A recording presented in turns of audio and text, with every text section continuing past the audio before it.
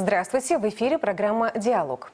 О деятельности Государственного комитета судебных экспертиз будем говорить сегодня с нашим гостем. Присоединяйтесь и вы к нам.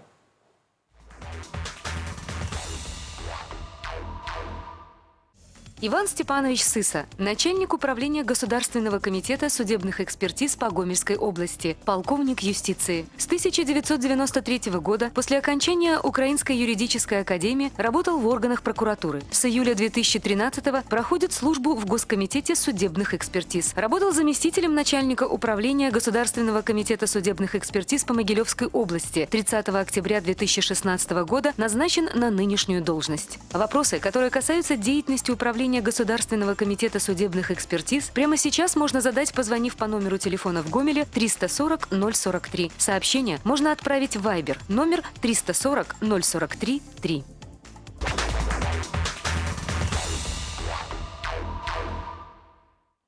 Здравствуйте, Иван Степанович. Здравствуйте, Ольга. Иван Степанович, я поздравляю вас с наступающим профессиональным праздником.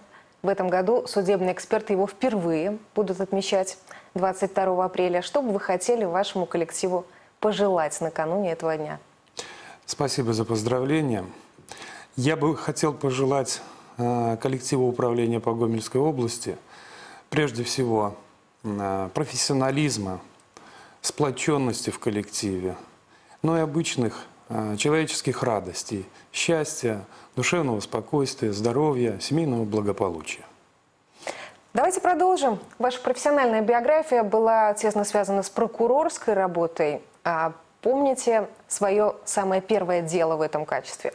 Ну, следует отметить, что начинал я работу помощником прокурора района, и там первое дело для меня было а, это поддержание государственного обвинения по одному из уголовных дел, но достаточно сложное было. А, составляла в объеме 10 томов. А, фигурантом был а, председатель одного из кооперативов. Сложно было разобраться в бухгалтерии, темной бухгалтерии и установить истину по делу. Но он получил длительный срок значит, наказания в дальнейшем. То есть ну, первый экзамен я так выдержал. А уже в качестве следователя в прокуратуре Могилевской области было очень сложное для меня первое дело – на первый взгляд оно и было раскрыто, и были установлены и виновницы, кстати, э, совершения преступления. Две, э, Тяжкого? Э, да, это было убийство. Две 25-летние девушки убили свою подругу из корыстных побуждений.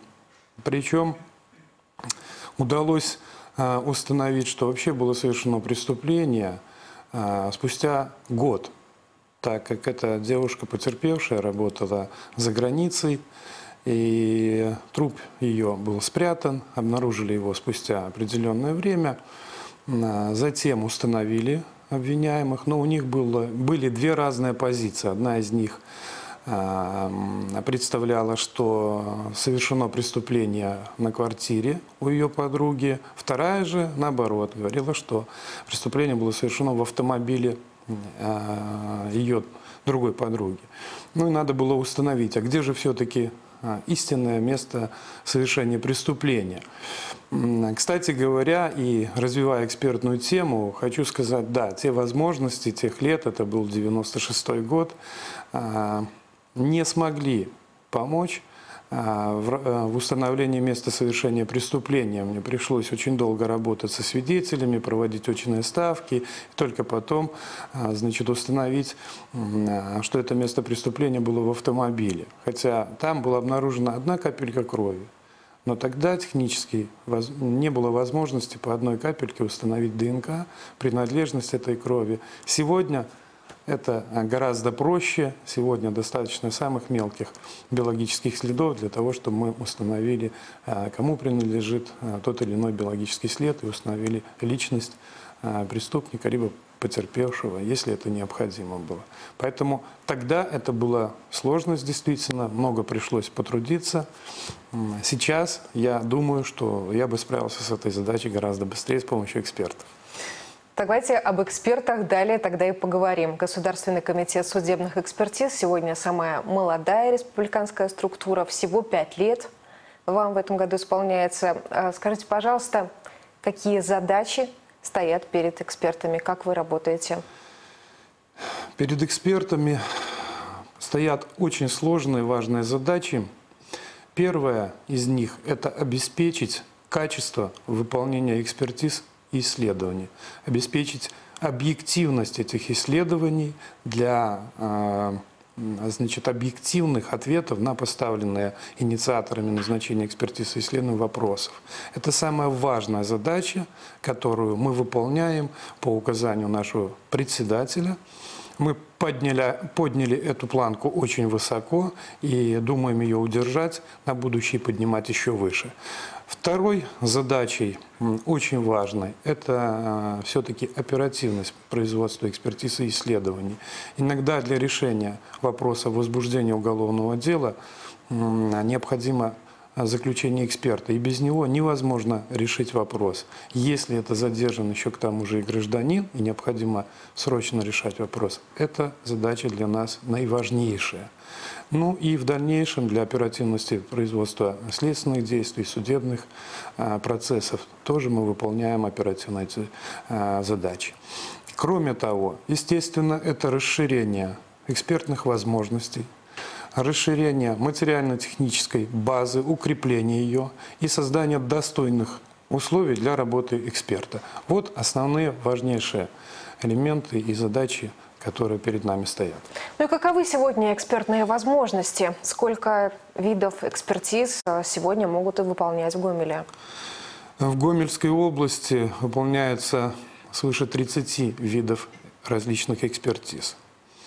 А, перечислить их все ну, это а, достаточно много времени. Я лишь назову, что это 10 криминалистических видов экспертиз, 8 а, судебно-медицинских экспертиз, десяток у нас специальных и технических экспертиз.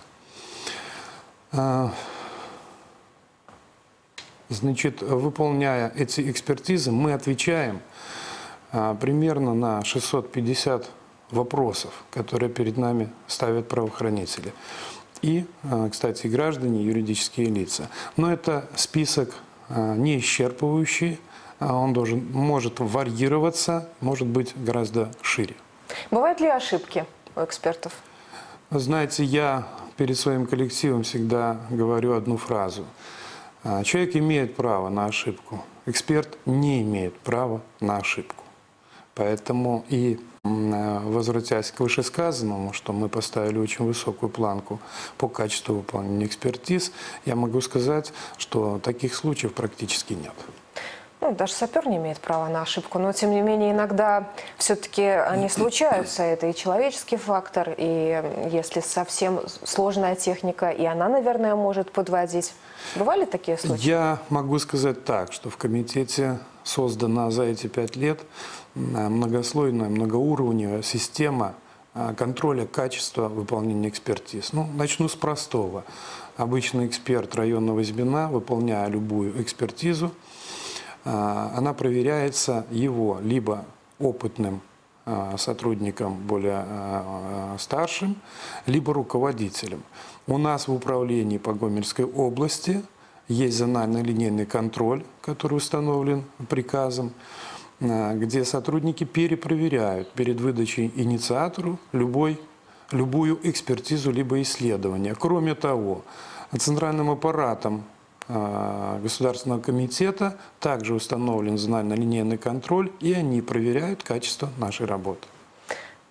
Все серьезно. Иван Степанович, вы довольны э, тем, как сегодня работает Управление по Гомельской области, что сегодня собой представляет этот коллектив? А, сказать, чтобы я полностью был доволен, ну, я тогда остановлюсь на достигнутом. Мы не можем останавливаться на достигнутом. Да, есть у нас масса положительных результатов, но есть над чем еще усердно потрудиться. В чем вы видите эти резервы? А, ну, резервы стоят в том, чтобы все-таки повышать свой профессиональный уровень. Да, предела совершенства не существует, конечно же. Сейчас предлагаю э, посмотреть сюжет. Накануне в управлении побывали наши корреспонденты и ознакомились с теми возможностями, которые созданы для экспертов, для того, чтобы они могли выполнять экспертизы.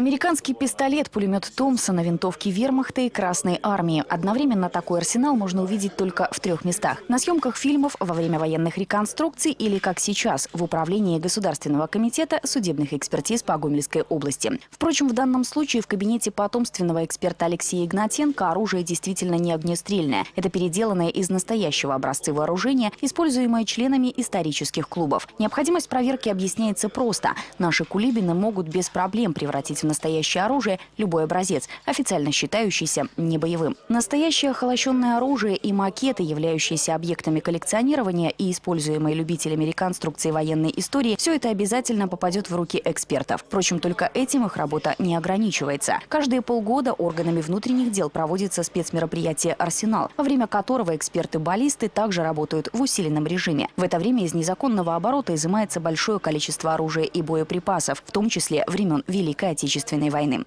Если человек нашел э, пистолет-пулемет э, в земле и принес его домой, а сотрудник милиции пришел и изъял его, то он назначает экспертизу и ставит два вопроса. Является ли этот объект огнестрельным оружием и пригоден ли он для стрельбы. Если предмет не пригоден для стрельбы, то ответственность не наступает. Также по боеприпасам. Если боеприпасы для стрельбы пригодны, то ответственность наступает. Но в основном, если это боеприпас, который пролежал уже более 60 лет в земле, то он не пригоден для стрельбы. То есть мы отвечаем на вопрос, что да, это боеприпас, но для стрельбы он не пригоден. Для того, чтобы стать настоящим специалистом в какой-то области, необходимо как минимум пять лет. Это мнение полностью разделяют в управлении Государственного комитета судебных экспертиз по Гомельской области. Вообще в повседневной работе эксперта гораздо меньше романтики, чем это показано в фильмах, так как преступление – это всегда отсутствие каких-либо позитивных эмоций. Эксперты-химики в этом смысле люди действительно особые. Цифра, которую знают далеко не все жители Гомельской области, сегодня существует более 300 токсичных веществ, которые могут вызвать отравление или смерть человека. Поставить точный диагноз для настоящего специалиста не проблема. Кстати, что касается отравления алкоголем, то наиболее часто в крови умерших судебными медиками обнаруживается содержание метилового и пропилового спирта. Это у людей более зрелого возраста. У молодежи часто другие приоритеты и, как следствие, причины отравлений. В основном сейчас идут э, это наркотические средства. Э, поскольку молодежь у нас разношерстная, то в основном ищем мы наркотики и лекарственные средства. Также суррогат алкоголя, сам алкоголь очень много. Определено, ну, вероятность определения, ну, как бы стопроцентная, ну, есть вопрос, есть ответ. Проблема наличия в обороте транспортных средств с измененными маркировками для Гомельской области актуальна не первый год. Как показывает практика, измененные ВИН-номера выявляются и в очень старых автомобилях, и в практически новых, одна-двухлетних. По моделям и производителям у преступников различные периоды бывают свои предпочтения. Например, когда в середине 2000-х годов начал развиваться такой вид частного бизнеса, как маршрутное такси, в Беларусь поступило много автомобилей «Газель» с перебитыми номерами. Буквально несколько лет назад и в Гомельской области, и в целом по республике было выявлено немало случаев изменения идентификационной маркировки модели Range Rover Evoque, поступивших из соседних стран. Бывает, что качественно делают, э, перебивают номера. Бывает, что не очень кустарно сразу видно, что номер бит, либо номерная площадка варена.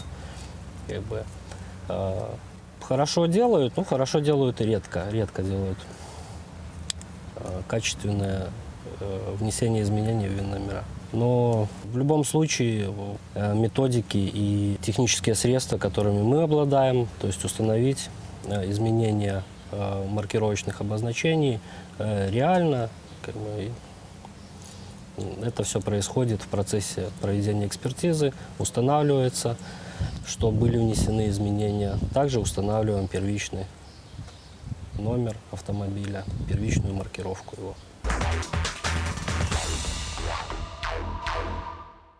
Вы смотрите «Диалог». Гость нашей передачи – начальник управления Государственного комитета судебных экспертиз по Гомельской области Иван Степанович Сыса. Иван Степанович, скажите, пожалуйста, какие экспертизы наиболее часто приходится выполнять? Какие самые распространенные? Я бы разделил этот вопрос на два. А, почему? Потому что это разделяется по инициативе правоохранительных органов, мы производим экспертизы и исследования, а также граждан и юридических лиц. А, Ну, правоохранительные э, органы назначают любые виды экспертиз, их достаточно много.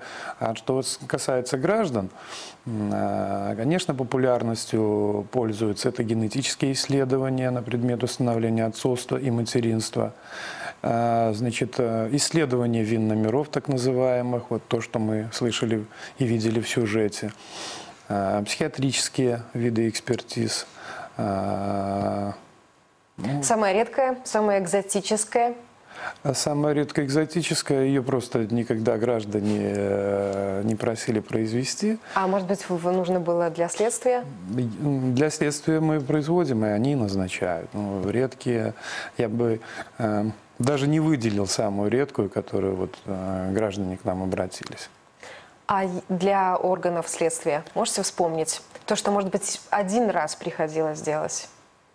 Ну, этого тоже нельзя сказать, чтобы вот единичный случай какого-то То есть есть какой-то да. комплекс, да, стандартный, который... Да, есть э, необычные вопросы, да, которые моделируются для установления того или иного факта. Это Необычные вопросы? есть.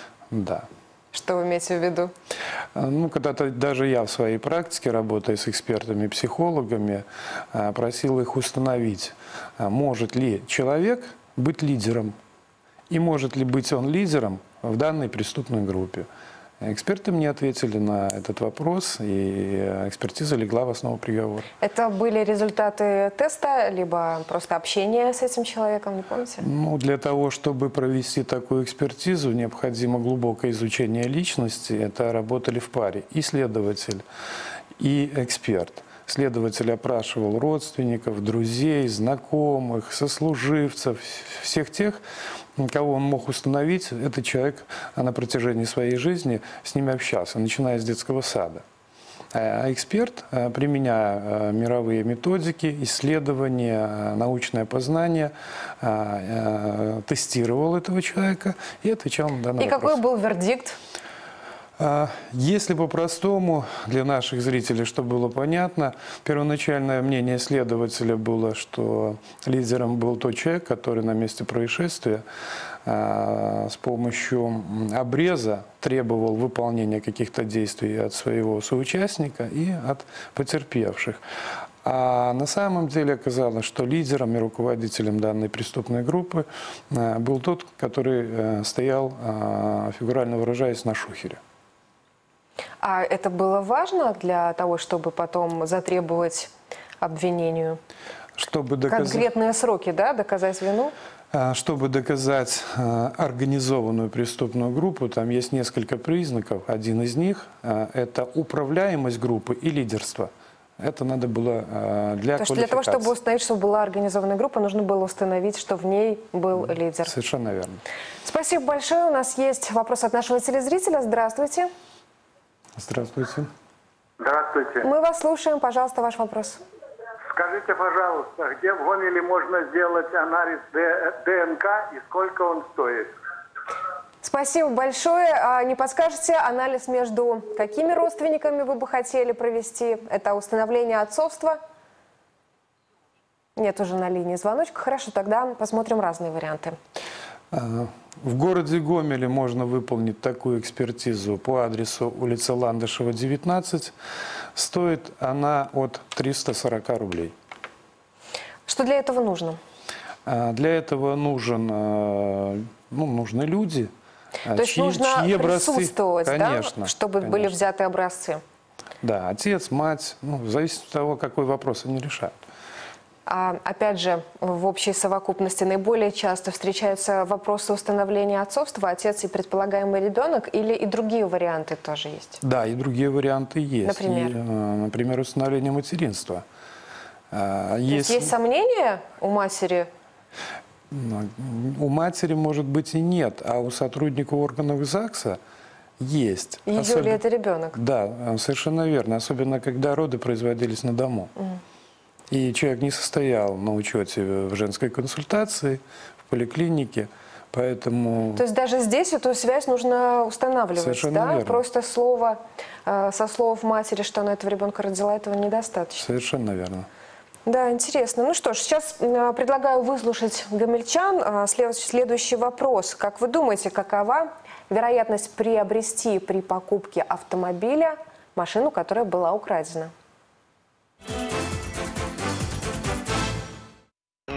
Наверное, процентов на 20 в Беларуси. Это с рук или с салона когда? А, нет, шоу. А с салона, я не знаю, нет, наверное. Краденую не продадут. Сто процентов.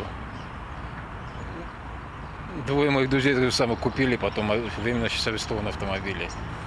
Ну, В России особенно такое происходит. Я думаю, что в салонах все-таки должно быть как-то понадежнее.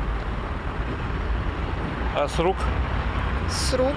Тут, наверное, 50 на 50 процентов. А с рук можно 50 на 50. Больше никаких проблем. Я думаю, процентов 15. Но только для тех, которые не обследуют машину на по ВИН-коду, не пробивает его. Где-то я в 2005 году купил машину, она все прошла растаможку, все. Я на ней 5 лет отъездил. Через 5 лет пошел техосмотр проходить, а там, где был номер на кузове набит, была пластина приклеена. Она со временем отошла, и там другой номер оказался. Она с 2001 году была в угоне, в, э, в розыске Интерпола. Ну, поскольку она старая была, она никого не заинтересовала, так она и сгнила у меня. Ой, я не знаю, я об этом никогда не думала. Ну, я не планирую покупать машину, поэтому не знаю. Я не знаю, у меня нет автомобиля, поэтому, ну, может быть. Вероятность велика, всегда есть риск. Но, не знаю, можно обратиться в какие-то органы, чтобы, например, э, проверить эту машину, находится ли она в угоне. У нас же работает милиция, они предоставляют такие услуги. На самом деле я очень этого боюсь. Э, как бы лучше покупать в салоне, либо у знакомых, у проверенных лиц, потому что я, по крайней мере, не разбираюсь, где там какие номера перебиты, либо сваренная машина, либо еще что-то в этом роде. Поэтому как бы сложно сказать, и как бы на самом деле это проблема.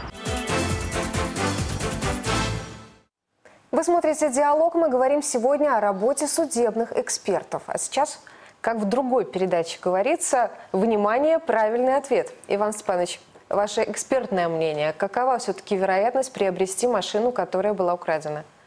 А, вы знаете, я скажу прямо, довольно-таки высока.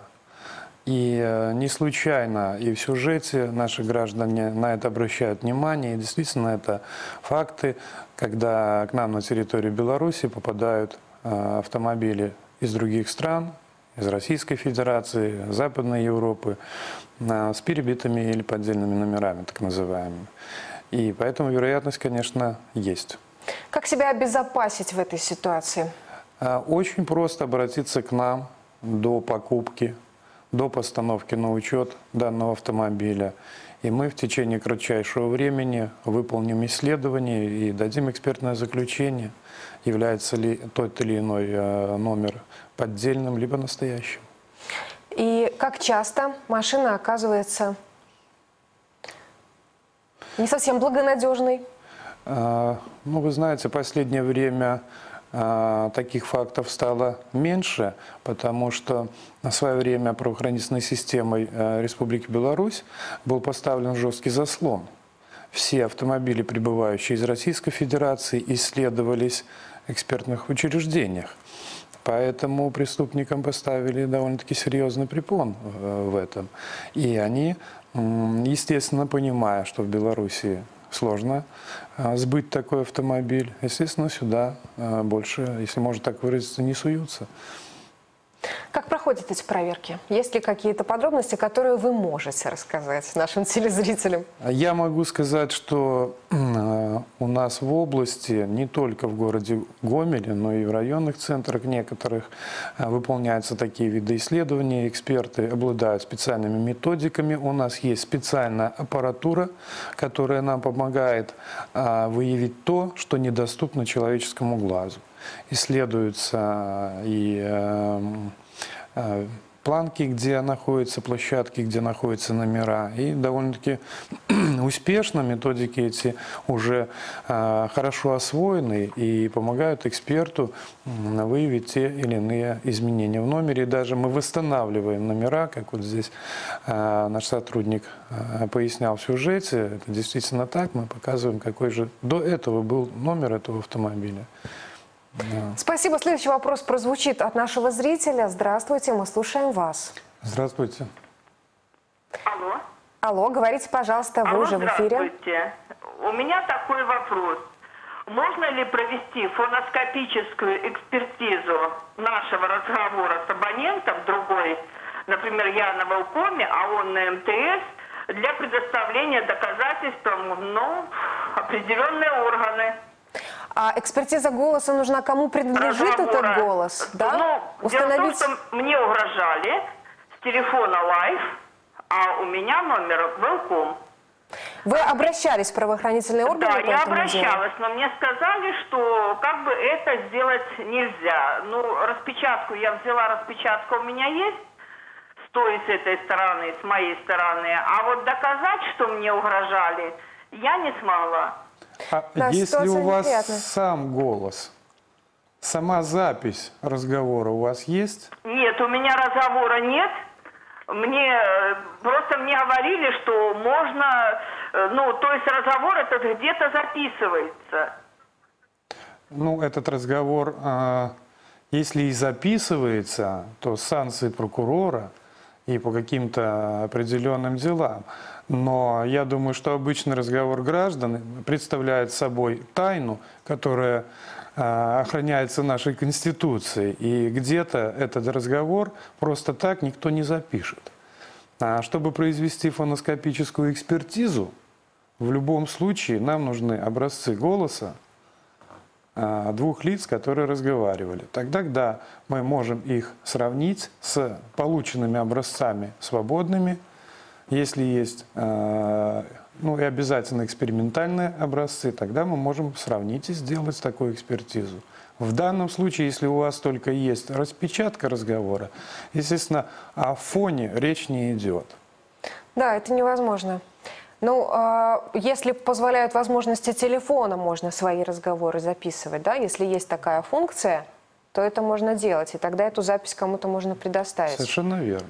А приходилось исполнять такие экспертизы? Э, Фоноскопические экспертизы в настоящее время э, в меньшей степени э, назначаются значит, правоохранительной системой, но все-таки они делаются ежегодно, мы выполняем такие исследования. А, скажите, пожалуйста, насколько часто приходится иметь дело с боеприпасами экспертам? А, Практически постоянно э, в год нашими экспертами выполняется порядка 500 исследований различного рода боеприпасов и также оружия. А, Это достаточно востребованный вид экспертиз, особенно правоохранительной системы, так как а, мы и в сюжете видели о том, что проводятся рейды специальные. А Министерство внутренних дел на постоянной основе контролирует незаконный оборот оружия и боеприпасов у нас в стране. Поэтому они зачастую обращаются к нам для того, чтобы мы исследовали те или иные боеприпасы либо оружие, выдали им заключение. В каком состоянии к вам попадают боеприпасы? И является ли задачей сотрудников восстановить боеспособность? Ну, восстановить боеспособность ни в коем случае. Э, Мы исследуем а, то, что мы видим, и не подвергая его какому-либо изменению. А, Виды поступления боеприпасов, оружия времен Великой Отечественной войны, естественно, но в основном э, это плачевное состояние, я бы так его назвал. Но все зависит от того, э, где хранилось и в каких условиях хранилось это оружие либо боеприпасы. Ведь не только остались после боев, на местах боев, э, значит, боеприпасы и вооружение. А, Были случаи, когда это и складировалось, и те же партизанские отряды, которые для длительного хранения, так называемые схроны вооружений делали. Поэтому они в любом случае, если они обнаружатся, то да- тогда да, там оружие может быть в идеальном состоянии. И пригодно для стрельбы, и оно совершенно не отличается от э, выпущенного. То есть все найденное, все конфискованное, да, все изъятое, все отправляется к эксперту. И в чем здесь задача экспертов? А, Какую резолюцию уже он должен дать? Во-первых, он должен определить, является это оружием, является ли это огнестрельным оружием, а, является ли, э, ли оно пригодным для стрельбы. Вот это основные вопросы, которые мы выполняем для наших инициаторов. Спасибо, Иван Степанович. У нас есть очередной телефонный звонок на линии. Здравствуйте. Пожалуйста, ваш Здравствуйте. вопрос. Алло, здравствуйте. Говорите, пожалуйста. Вы уже в эфире. Э, Скажите, пожалуйста, можно ли изъять жесткий диск из камеры видеонаблюдения и восстановить 31 октября 2017 года? Ну, смотря какая камера, где она установлена. Установлено в цеху Ага. э, молочный комбинат. Какого года вы говорили? Простите, я не расслышала. 31 октября 2017 года. 17 года. Мгм. Спасибо, поняли вас, будем разбираться. Иван Степанович, какие нужны санкции для того, чтобы Но попала в руки экспертов камера? Я не буду а, говорить, а, как она попадет в руки эксперта, потому что ну, у многих граждан, а, у наших и дома стоят камеры ви- видеонаблюдения, чтобы восстановить запись при каком-то сбое техническом, гражданин может нам обратиться, мы на платной основе выполним это исследование. Однозначно ответить, сможем или нет, М, Я не могу. Почему? Потому что я не вижу объекта, его не вижу состояния. Но во всяком случае возможность такая есть. И технически мы можем восстановить а, цифровую запись. Теоретически, технически, да, да, Да. а там уже нужно иметь э, этот объект на руках и уже с ним разбираться. Совершенно верно. Хотелось бы еще успеть поговорить об одной из самых значимых проблем современного общества – это незаконный оборот наркотиков. Какая роль отводится государством, комитету судебных экспертиз в борьбе с этой проблемой? Я бы сказал, что э, одну из основных ролей государство поручило выполнять э, Государственному комитету судебных экспертиз. И смею вас заверить, что у нас немалые успехи э, в области исследования наркотических и психотропных веществ. А Следует сказать, что в нашем государстве впервые и а, на постсоветском пространстве нет такой системы внесения перечня республиканства за- запрещенных а, наркотических и психотропных веществ. Центральным аппаратом комитета а, осуществляется ежедневный мониторинг состояния этого вопроса во всех странах мира, там, где производятся новые синтетические и другие виды наркотиков, психотропных веществ. И в течение нескольких дней эти вещества вносятся в перечень. Для чего это необходимо? При выявлении в том или ином веществе а, составляющих наркотических либо психотропных веществ, эксперт не- немедленно сверяется с этим перечнем и дает инициатору однозначный ответ, является ли это вещество наркотическим, психотропным и запрещенным к обороту в Республике Беларусь. Кроме того, комитетом создана впервые трехуровневая система а, выполнения таких видов экспертиз. Достаточно сказать, что на момент создания комитета в республике было всего пять хроматомасс-спектрометров, которые могли на высочайшем уровне выполнять данный вид исследования. А на сегодняшний день только в Гомельской области их три. Причем два находятся здесь, в Гомеле, один в Мозыре. И мы оперативно решаем все запросы правоохранительной системе по установлению факта, является ли то или иное изъятое вещество наркотическим. И могу сказать, что в кратчайшие сроки, до нескольких часов, мы да- выдаем а, инициаторам этот результат. Почему? Как я говорил выше, зачастую граждан задерживают, и для решения вопроса о возбуждении уголовного, э, э, уголовного дела и привлечения к ответственности им помогает только исключительно заключение эксперта. Действительно важная роль. А что касается проверки спиртосодержащих жидкостей, то как часто с ними приходится иметь дело? А, Очень часто в этом году а, правоохранительная система, особенно а, управление внутренних дел, активизировало эту работу. К нам поступают многочисленные образцы изъятых веществ э, спиртосодержащих, которые мы исследуем. Ну, это необходимо и для привлечения граждан к административной ответственности в основном. Что самое страшное, что выявляется экспертами в алкоголе? э, метил, этиленгликоль, Ну, вот То есть вещества, которые потенциально могут повлечь за собой для их употребивших смерть. да. И они влекут, к сожалению. И люди должны об этом знать. А, И э, что подвержена этому часть населения, это удручает. Да, и поэтому источник происхождения того, что вы употребляете, стоит знать очень хорошо. Жалко, что вот на этой ноте мы вынуждены закончить, но вынуждены. Благодарю вас за участие в нашей программе. Еще раз с наступающим профессиональным праздником, Иван Спасибо. Степанович. Спасибо. Спасибо, что пригласили. Начальник управления Государственного комитета судебных экспертиз по Гомельской области Иван Сыса был сегодня у нас в гостях. Спасибо вам за внимание. Берегите себя. До свидания.